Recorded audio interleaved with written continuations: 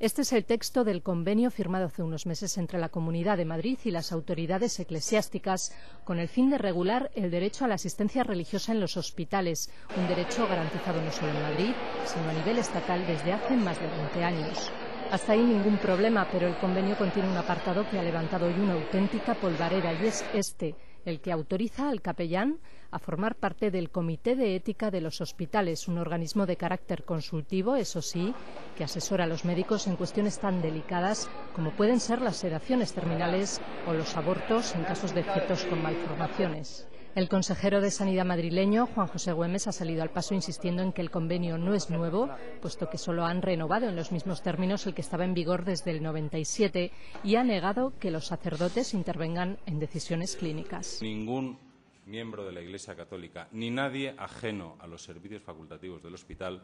interviene en ninguna decisión asistencial que desde luego mucho menos en los cuidados paliativos. Tanto el PSOE como Izquierda Unida y UGT Madrid han rechazado el rechazo más este profundo convenio y la por repugnancia que nos que inspira no es propio de un Estado el convenio eh, que se ha suscrito